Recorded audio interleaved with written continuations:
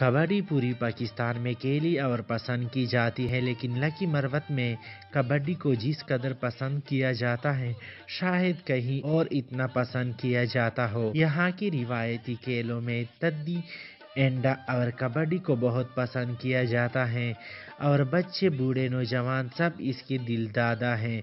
यहाँ पर खेले जाने वाले कबड्डी के मुकाबले अपनी मिसाल आप होते हैं। लोग दूर दराज से कबड्डी देखने यहाँ आते हैं।